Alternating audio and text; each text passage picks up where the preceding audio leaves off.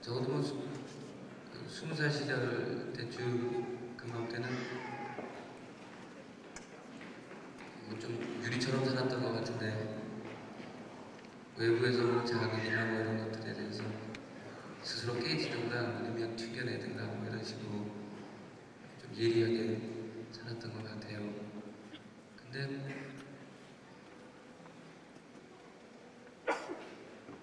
재작년부터인가 그러더니 올해 들어서 점점 더 심해지는 것 같아요. 서른 둘 되니까 스폰지 같아요. 그냥 주변에 일어나는 일이며 이런저런 것들이 다 그냥 그렇지 뭐 그런 거야. 그러면서 인정해버리고 익숙해져서 그런 건지 아니면 제가 생각하고 바라보고 하는 그런 인생에 대한 생각이 모자라서 그렇게 좀 신기하고 재미나고 그런 게 없어요. 그냥 그렇지 뭐 그래서 지내게 되는 것 같아요. 어느 선배를 만나서 이런 얘기를 했더니 그럼 쥐어짜 그러더군요. 근데 짤 시기가 언제일까 뭐 이런 생각을 해보긴 하는데 한 마음 돼야 되지 않을까 싶어요. 마음 되고 싶은데 모르겠습니다. 그냥 답답해서요. 열심히 사십시오.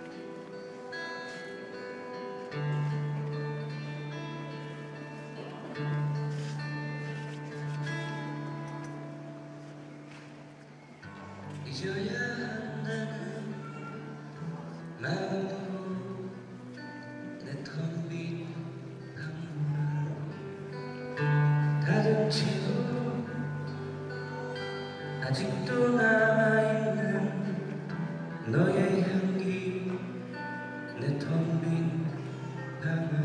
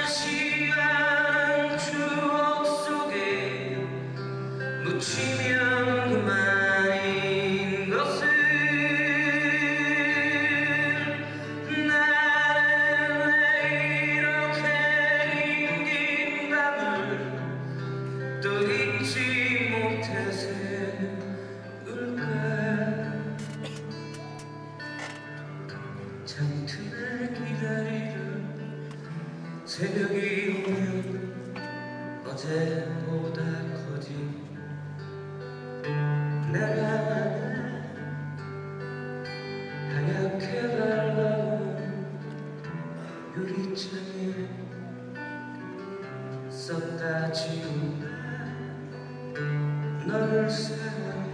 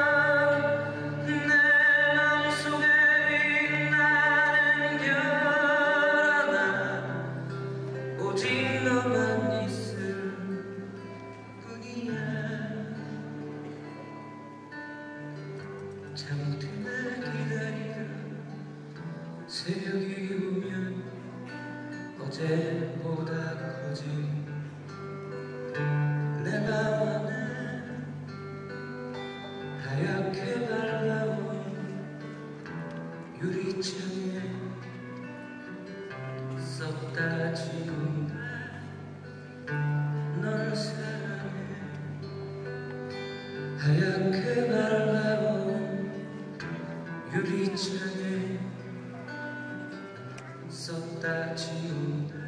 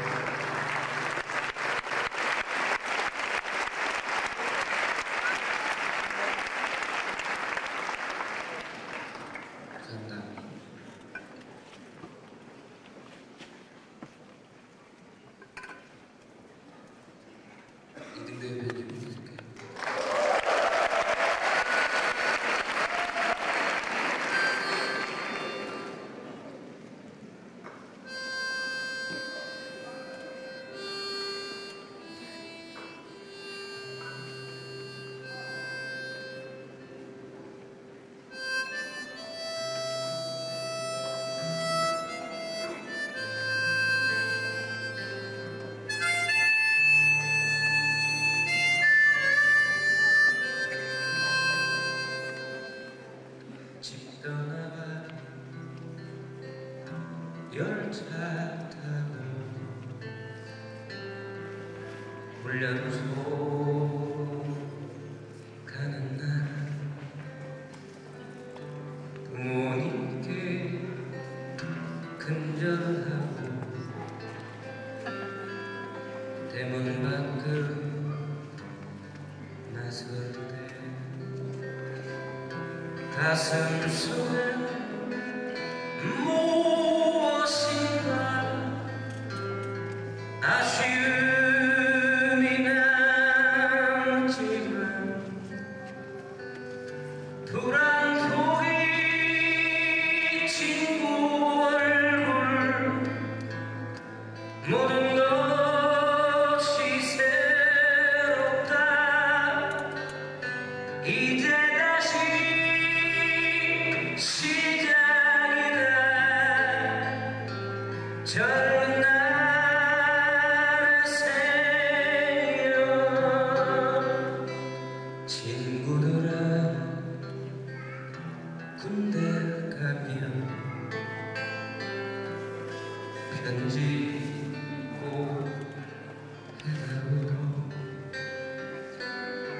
그대들과 즐거웠던